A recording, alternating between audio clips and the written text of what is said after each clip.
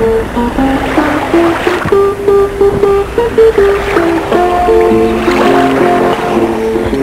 you.